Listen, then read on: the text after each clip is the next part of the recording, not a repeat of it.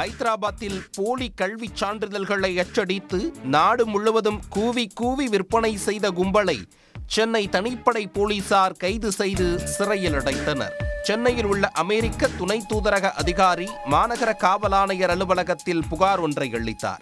அதில் அஜய்குமார் பண்டாரி என்பவர் வேலைக்காக அமெரிக்கா செல்ல விசா கேட்டு விண்ணப்பித்ததாகவும் அதன் பெயரில் கடந்த இருபத்தி இரண்டாம் தேதி நேர்முக தேர்விற்கு வந்தவரின் ஆவணங்களை சரிபார்த்தபோது கல்விச் சான்றிதழ்கள் போலி என தெரிய வந்ததாகவும் குறிப்பிட்டிருந்தார். அந்த சான்றிதழ்கள் Gandhi institute of technical and management employer of Marriott hotel convention centre என்ற நிறுவனங்கள் பெயரில் பெறப்பட்டிருப்பதாகவும் கூறியிருந்தார்.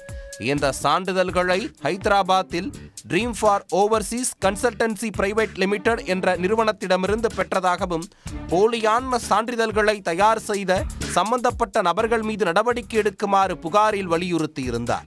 அதன் பேரில் சென்னை மத்திய குற்றப்பிரிவு போலீசில் வழக்கு பதிவு செய்து விசாரணை மேற்கொண்டனர். முறைகேடு தொடர்பாக அஜய்குமார் பண்டாரியை போலீசார் கைது செய்து விசாரித்தனர். அப்போது dream for overseas consultancies private limited என்ற நிறுவனத்தை நடத்தி வந்த பால நந்தேஸ்வர ராவ் என்பவர் போலி சான்றிதழ்களை தயார் செய்து கொடுத்தது தெரிய வந்தது.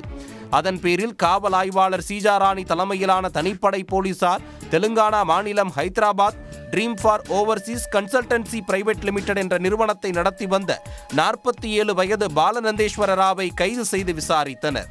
அவர் நிசமாபாத்தில் சைபல் டெக்னாலஜிஸ் என்ற நிறுவனத்தை நடத்தி வந்த கப்சே மகேஷ் என்பவருடன் கூட்டாக சேர்ந்து போலியான கல்விச் சான்றிதழ்கள் மற்றும் வேலை செய்தது போன்ற அனுபவ சான்றிதழ்களை தயார் செய்து அதனை அமெரிக்கா செல்வதற்காக தன்னை தொடர்பு கொள்ளும் நபர்களுக்கு தலா ஐந்து லட்சம் முதல் ஆறு லட்சம் வரை பெற்றுக்கொண்டு வழங்கியிருப்பது கண்டுபிடிக்கப்பட்டது.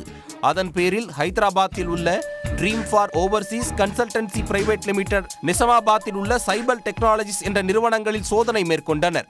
அப்போது போலி ஆவணங்கள் தயாரிக்க பயன்படுத்திய monitors CPUs laptops printer fake seals mobile phones மற்றும் தொண்ணூறுக்கும் மேற்பட்ட போலி கல்விச் சான்றிதழ்கள் கைப்பற்றப்பட்டதாக சென்னை மாநகர காவல் ஆணையர் அருண் தெரிவித்துள்ளார். இதுபோன்ற போலியான நிறுவனங்களை நடத்தி வரும் ஏஜென்ட் மற்றும் இடைத்தரகர்களை அணுகுவதை தவிர்ப்பதோடு பணம் கொடுத்து ஏமாற வேண்டாம் எனவும் அவர் பொதுமக்களை கேட்டுக்கொண்டுள்ளார்.